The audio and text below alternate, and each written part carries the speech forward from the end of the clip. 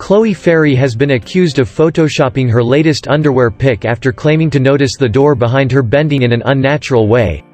In the now, deleted post, the Geordie Shore star, 24, was seen donning red bra and matching kickers as she knelt seductively on the carpet.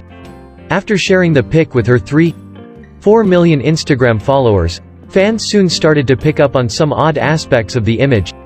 One fan penned, nice curvy door, while another wrote, Photoshopped again. Look at the dodgy door. A third added, Your door's warped. Chloe has since had second thoughts and opted to remove the sultry snap from her page.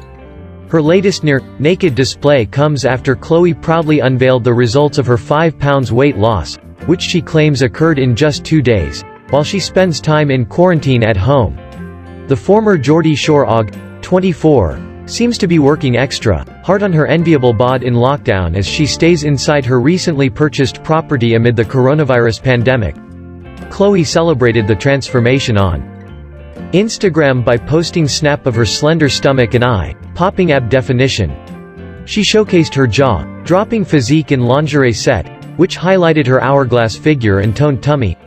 Teasing her new figure, Chloe penned, I've woke up this morning with the outlines for the abs, the reality TV star revealed she has lost another pound in weight overnight. She shouted, I am stone 12 pounds. Last night was stone 13 pounds. Woo! Chloe has been keeping fit at home in isolation, swapping the gym for hardcore home workouts. She's been recording her weight each day since Friday, and seems to have lost 5 pounds in total since her first weigh, in at 10 stone 3 pounds. The Geordie Beauty then showed off some of her killer workouts that she enjoys at her luxury home. Her dramatic weight loss comes after Chloe admitted she will be taking some time off from training amid the pandemic.